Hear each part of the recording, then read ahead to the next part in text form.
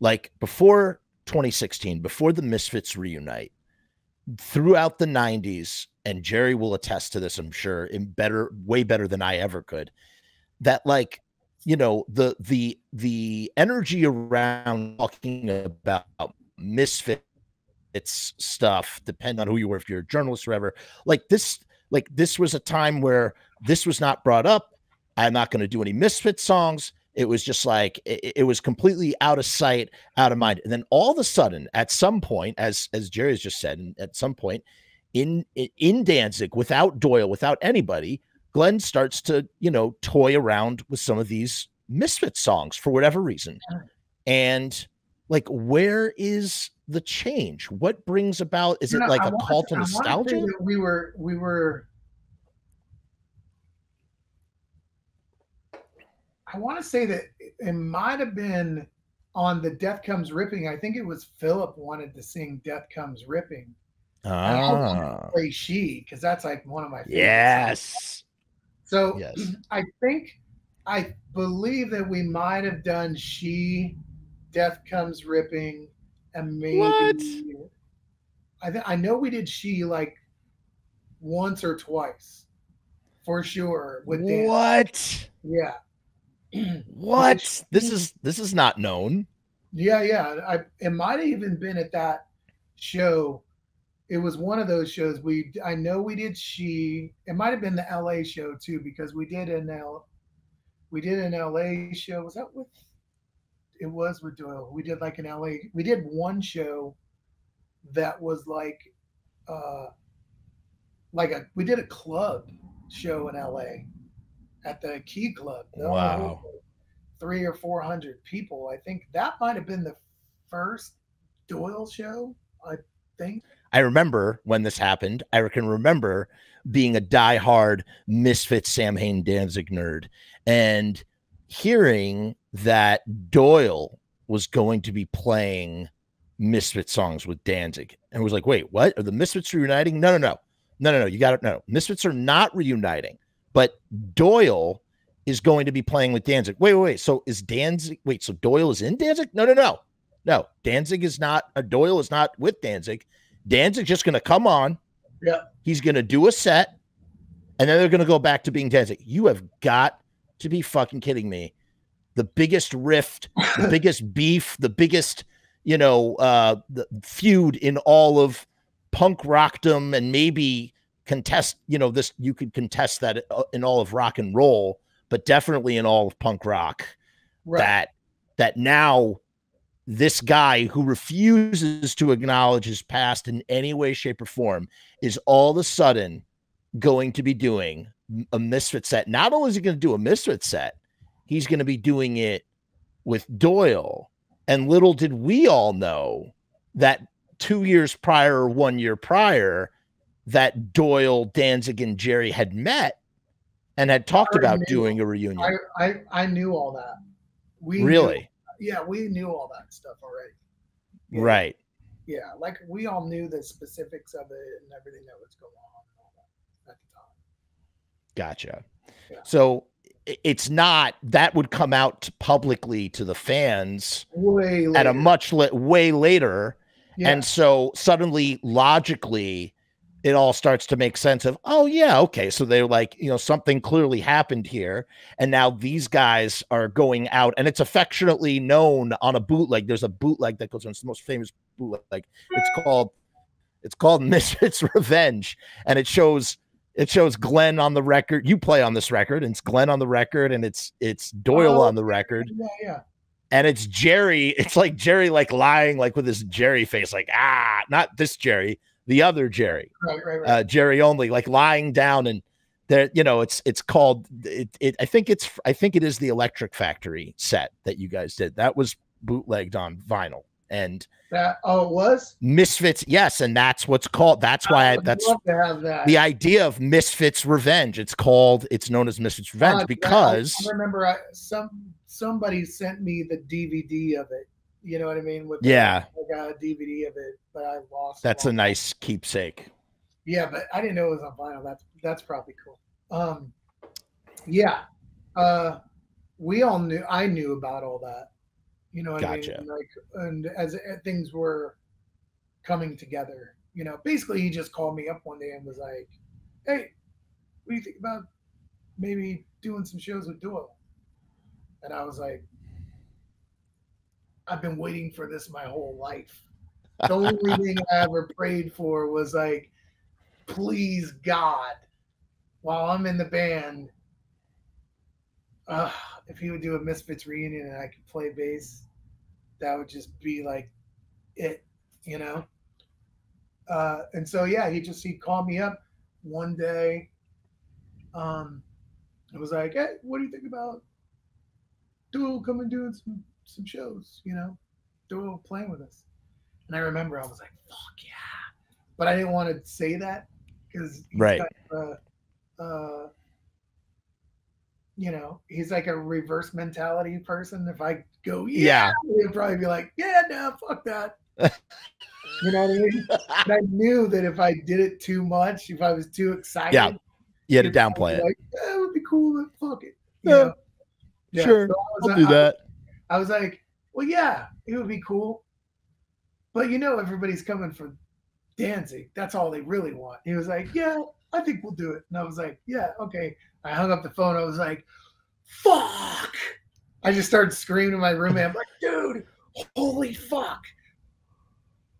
I think we're going to do the Misfits. T- take me through what happens now. You, you say you're like, yeah, sure, yeah, sure, Glenn. Sounds like maybe a good idea. Um, you know, like, uh, yeah, everybody really wants to see Danzig, though. You know, Glenn, like, you know, Right. Because I know that he's going to go, yeah, we can do it. You know, I didn't want to be like, fuck yeah, are you crazy? That's all anybody wants to see. Ah, and then it'd be like, right? "Yeah, fuck it, we ain't doing it. You know, Always against the grain. Always against the grain. totally. So yeah, so it was kind of like that, and then I think uh, I had never met Doyle before. I knew Doyle's ex-wife just through Crazy Craig, and I think that's kind of how the Right. whole thing kind of came back together. Was Craig was friends with Doyle, and Craig kind of, I think, slowly bridged the gap. You know what I mean? Amazing. With the two of them. Mhm. or at least a little bit enough for them to you know be back on radar and whatever Right. but yeah so then it was like okay learn you know these like 12 songs or something so i learned them cool and it was like the first day like first day of school you know like all right today's and go in there for the first time and there's doyle you know like i think i got there and then doyle showed up and i'm like you know i always heard he was like the greatest guy but i didn't i don't know him you know? And um he was just ever since that day i just i fell in love with him right away. He's the sweetest human being you know nothing but the kindest gentlest fucking soul of all time you know what i mean Yeah. um, i adore Doyle. um and we just fucking i remember where it was like he was as nervous as i was because he was like whole you know to even to him right. like he was like, "Holy shit, I'm getting to play with fucking Glenn." Like, he Right. was mind blown, you know. Um, which was like very endearing and cool, you know, because we were kind of like all like, "Fuck," you know. The only person that was like, "I know this is it," you know, ah, was GD. We were kind of like, Yeah. uh, you know. But like as I told you earlier, um, it's like embedded in my brain. I'll never fucking forget. We played. I think I want to say it was Earth AD. Maybe it was the first song that we Wow. played together. Like, okay, one, two, three, here we go. Um, or Hate Breeders, one whatever song it was. But immediately he got he just crouched down in that stance. It looks like the fucking like the t-shirt with the devil lock, like down, crouched down. And we were all like, holy fuck, there he is. And I re- I'll never forget. I looked over at Doyle, and Doyle was like, like huge smile, like, oh my god. And I was like, fuck. And we were all like, you know, Witness the I power. Bev- I mean, I don't know if Bevan was like the hugest Misfits fan. I mean, I know he liked it, but he wasn't like. I'm as much of a fan of that as like you or Doyle playing Right. room. You know what I mean? Right. And so was Tom. And Tommy's like, whoa, this is crazy, you know. But I was like, and Doyle was the same way. And he just got down in the fucking stance, just fucking went for it like a fucking wild beast, you know? I'll never forget it. And then it was like the song was over, and he stood up like, all right. And we were just like, oh fuck, it is on like a motherfucker. I think Yeah. I remember like the Mars Volta guys or like Henry Rollins or you know these dudes like coming in our room like poking the, their head in the door. Like, Wait, Henry Rollins was there. I want to say maybe it was Henry Rollins that was there or Wow. you know it was Mars Volta guys. Um, some like you know I mean like at the time you know it might have been Yeah.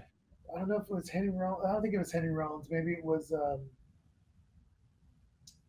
Fuck, I can't remember. This is a rehearsal space. This is the rehearsal That you're at. Oh, yeah.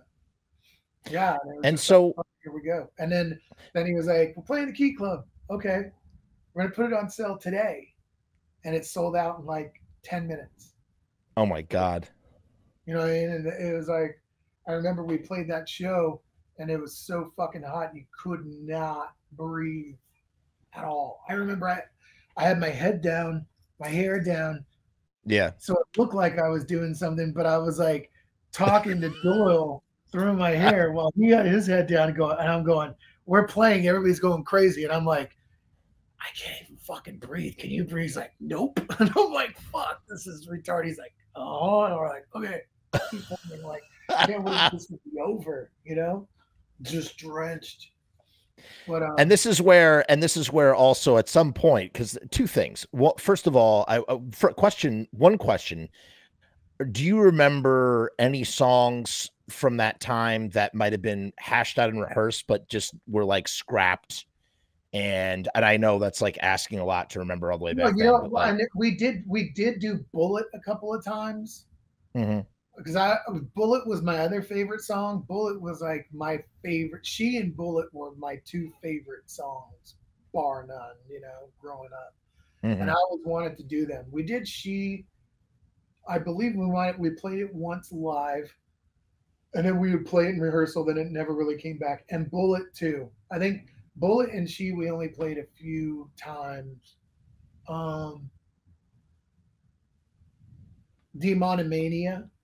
Yeah oh yeah that's great uh, we I know Tommy really loved that song, and we were gonna we would play that one. But That's I don't know one. if we were even doing Demonomania even then. You know, I mean, I think it was like I can't remember. There's so I'd have to look at the CD. You know, like Yeah. it- you know, you're talking like fucking 14 songs in 20 minutes. You know, what do you think? More? Here we go. You know, like it's a minute and a half, two minutes, one minute. oh that was the best part is that like it's just like this window of time but you're just packing goodies you're just packing goodies in the set it's just like boom boom boom boom Right, boom yeah, okay now back to danzig you Yeah. know Um, so great I think we, you know, we did we did that first string of shows. I think we went up into Canada, maybe. I think I remember that.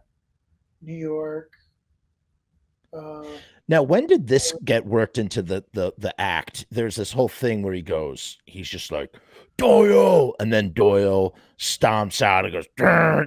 Dur- That's was just- was that just happened. does it yeah Yeah, and I remember I was like, "What do you mean we're gonna bring him out into the middle of the show and then send him back?" like a monster He's like, "Yeah."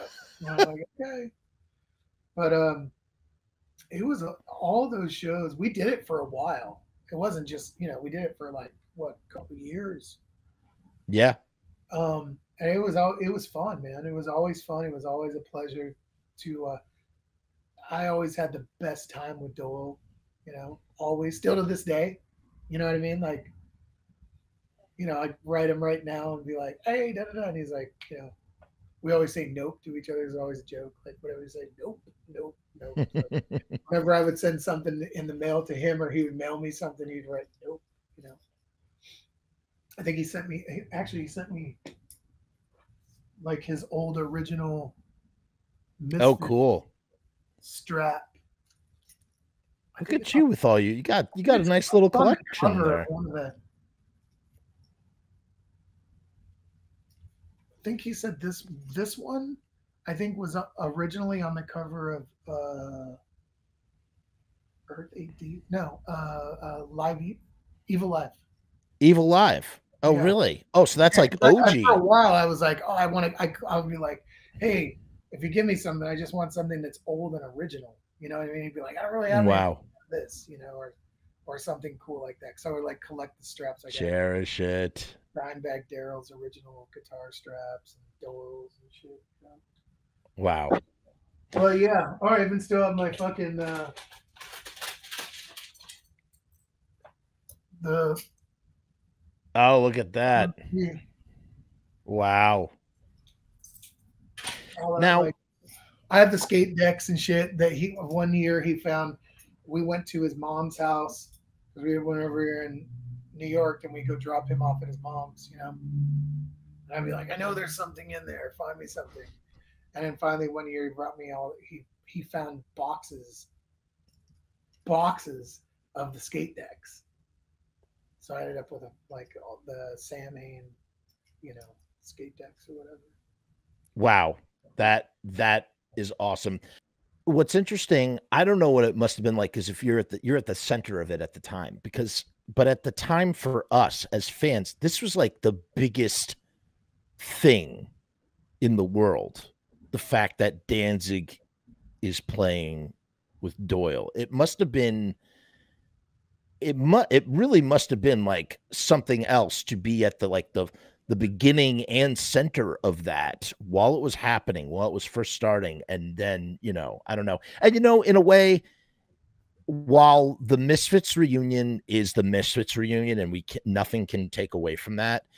In a way, this was almost even more mind-boggling because it, it, Well, it had because just no been was- such a No one was expecting it. We didn't even expect right, And then Right. even if it was happening, it just happened. You know, it was like, okay, right, we'll do more shows. Oh, we'll play this place. Okay, cool.